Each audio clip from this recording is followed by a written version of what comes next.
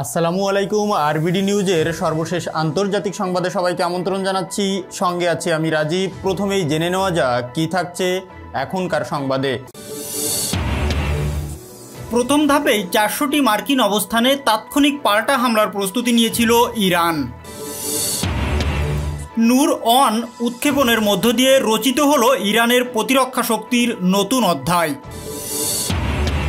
Iran শক্তিশালী হচ্ছে ও America দুর্বল হয়ে পড়ছে মার্কিন সিনেটরের স্বীকারোক্তি।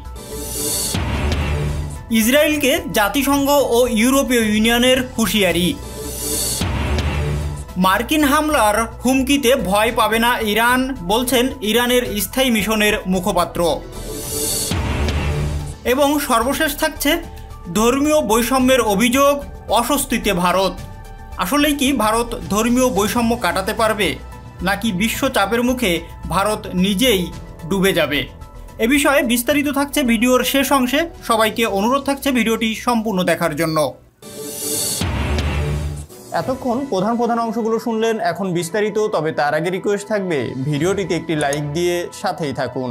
ইরানের ইসলামী বিপ্লব গার্ড বাহিনীর অ্যারোস্পেস ডিভিশনের commander brigadier general Amir Ali Hajizadeh বলেছেন ইরাকে অবস্থিত মার্কিন সামরিক ঘাঁটি আইন আল আসাদে ইরানি ক্ষেপণাস্ত্র হামলার পর যদি মার্কিন যুক্তরাষ্ট্র ইরানে পাল্টা হামলা চালাতো, তাহলে প্রথম ধাপেই এই অঞ্চলে চারশোটি মার্কিন অবস্থানে তাৎক্ষণিকভাবে হামলা চালাতো Iran.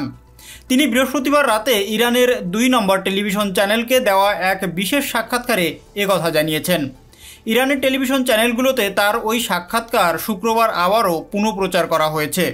Brigadier general Amir Ali Hajizadeh বলেছেন, গত জানুয়ারি মাসে আমরা ইরাকে অবস্থিত মার্কিন সামরিক ঘাঁটি আইন আল আসাদে ক্ষেপণাস্ত্র হামলা চালানোর পর ভেবেছিলাম মার্কিনরা পাল্টা হামলা চালাবে এবং সেজন্য আমাদের পূর্ণ প্রস্তুতিও ছিল।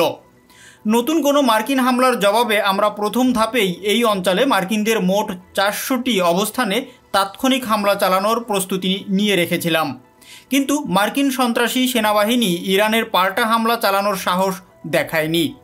ট্রাম্পের নির্দেশে ইরানের কুচ ব্রিগেডিয়ার প্রধান জেনারেল কাসেম সোলাইমানিকে বাগদাদ বিমানবন্দরের পাশে হত্যা করার পর ইরান পশ্চিম এশিয়ায় মার্কিন ঘাঁটিগুলোতে প্রবল হামলা চালাতে পারে এমন আশঙ্কার প্রেক্ষাপটে ট্রাম্প ইরানকে আগাম হুমকি দিয়ে বলেছিল ইরান প্রতিশোধমূলক হামলা চালালে দেশটির সাংস্কৃতিক এবং ঐতিহাসিক স্থাপনাসমূহ বাহান্নটি অবস্থানে আক্রমণ করবে আমেরিকা।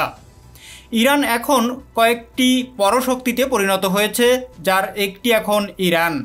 এবং আমেরিকা ও তার চেয়েও বড় কোনো শক্তি ইরানের কোনো ক্ষতি করতে পারবে না বলে হুঁশিয়ারি দিয়েছে ইরানের ইসলামী বিপ্লব গার্ড বাহিনীর অ্যারোস্পেস ডিভিশনের commander brigadier general Amir Ali Hajizadeh. তিনি বৃহস্পতিবার রাতে ইরানের দুই নম্বর টেলিভিশন চ্যানেলকে ওই বিশেষ সাক্ষাৎকারে ওই হুঁশিয়ারি প্রদান করেন।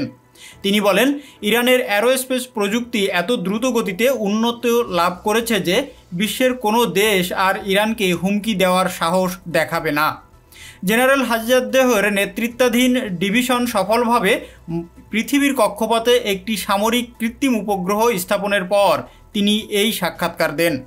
গত বুধবার ইরান নিজস্ব প্রযুক্তিতে রকেট দিয়ে নূর অন নামের একটি উপগ্রহ মহাকাশে পাঠায় এবং এটি ভূপৃষ্ঠের চারশত পঁচিশ কিলোমিটার দূরের কক্ষপথে স্থাপন করা হয়।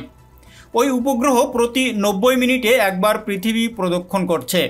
হাজিজাদ্দেহ ইরানের বিরুদ্ধে ট্রাম্পের সাম্প্রতিক হুমকিগুলোকে মার্কিন ব্যর্থতাগুলোর ধামাচাপা দেওয়া ও দেশটির ঘরোয়া সংকটের দিক থেকে দৃষ্টি অন্যদিকে ফেরানোর প্রচেষ্টা বলে মন্তব্য করেছেন।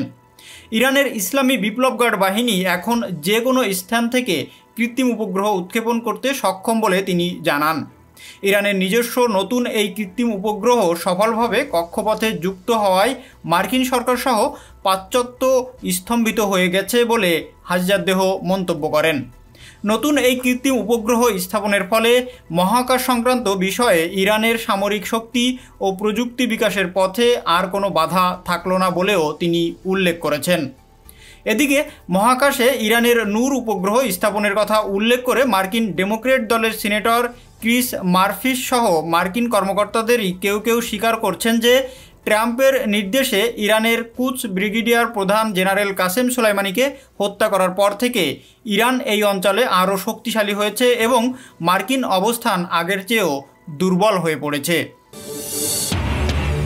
ইরানের ইসলামী বিপ্লব গার্ড বাহিনী বা আইআরজিসির উৎক্ষেপণ করেছেন ইরানের প্রথম সামরিক উপগ্রহ নূর অন এবং এর মধ্য দিয়ে ইরানের প্রতিরক্ষা শক্তির নতুন একটি অধ্যায় রচিত হয়েছে।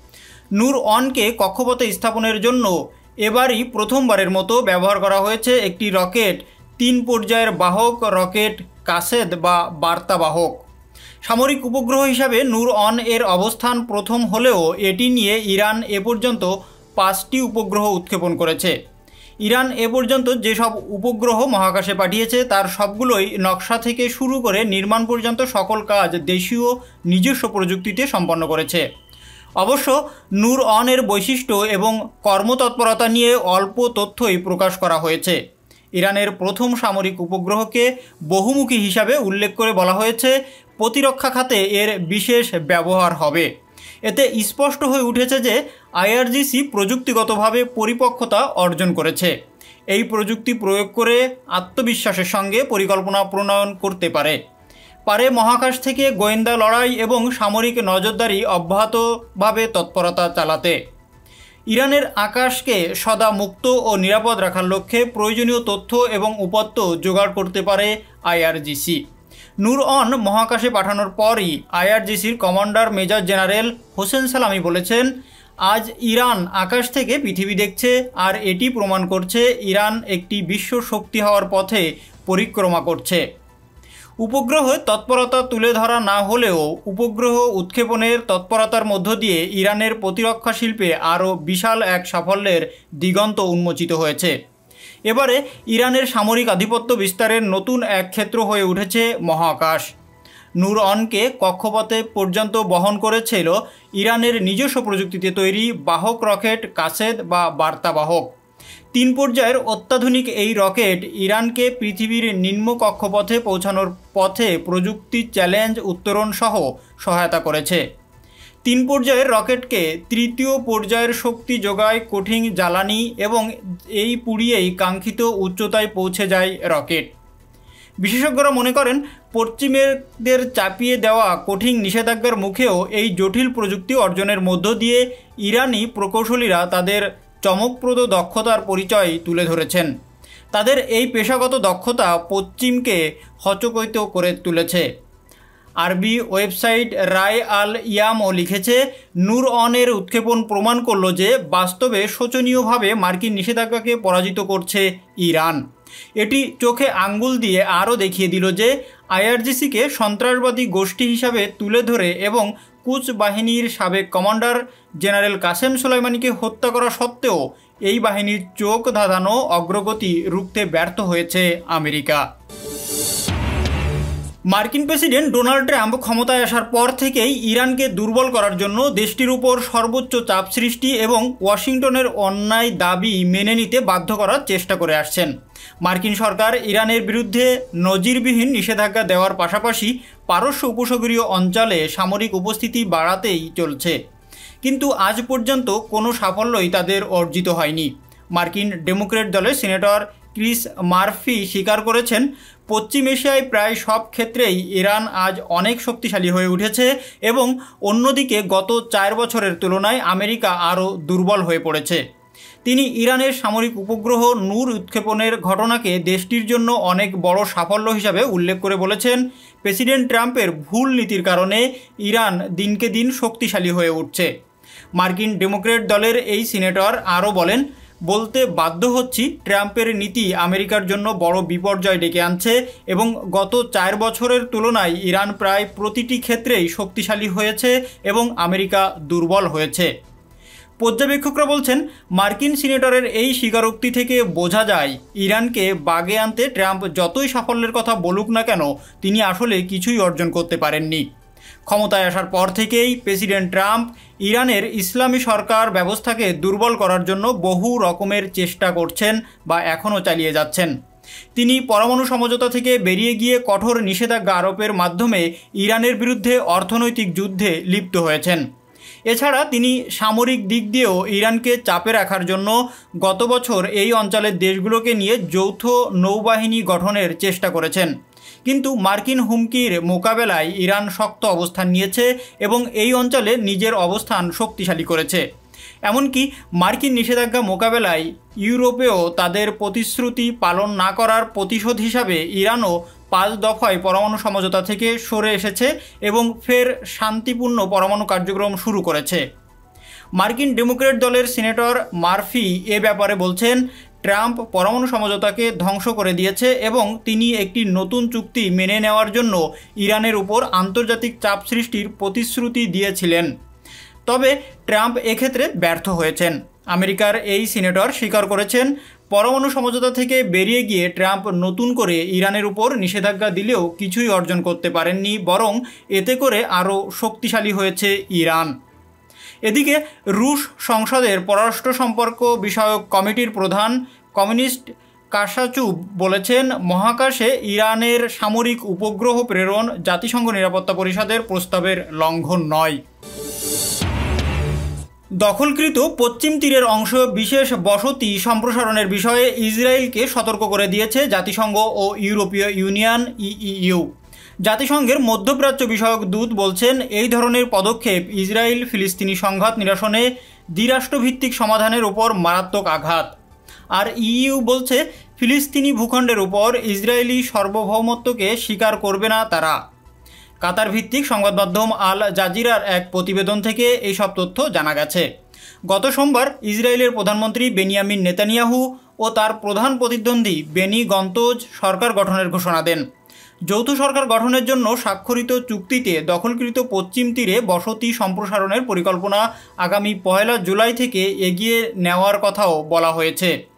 ইতিমধ্যে গত বুধবার যুক্তরাষ্ট্র জানিয়ে দিয়েছে, এ বিষয়ে সিদ্ধান্ত নেবে ইসরায়ে। মার্কিন পররাষ্ট্রমন্ত্রী মাইক পপেও বলেছেন, এ নিয়ে যুক্তরাষ্ট্রের মনোভাব একান্ত ইসরায়েলি সরকারকে জানিয়ে দেওয়া হবে।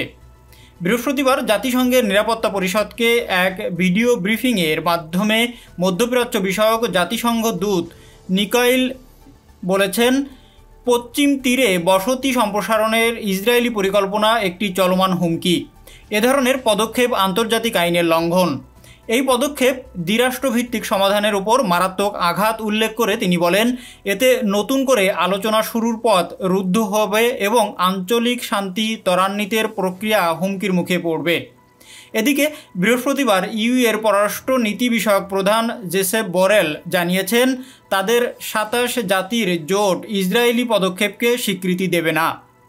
নিবিড়ভাবে পরিস্থিতি পর্যালোচনা করা হবে জানিয়ে তিনি বলেন, এর প্রভাব পর্যালোচনা করে তার সঙ্গে সঙ্গতি রেখে ব্যবস্থা নেওয়া হবে। উল্লেখ্য, উনিশশো সাতষট্টি সালে মধ্যপ্রাচ্য যুদ্ধের পর পশ্চিম তীরের দখল নেয় ইসরায়েল। তারপর থেকে দখলকৃত পশ্চিম তীর ও পূর্ব জেরুজালেমে সাত লাখ ইহুদি বসতি সম্প্রসারণ করছে ইসরায়েল। আন্তর্জাতিক সম্প্রদায়ের বড় অংশ মনে করে, পশ্চিম তীরে ইসরায়েলি বসতি অবৈধ আর ফিলিস্তিনের সঙ্গে সংঘাত নিরসনের পথে প্রধান বাধা।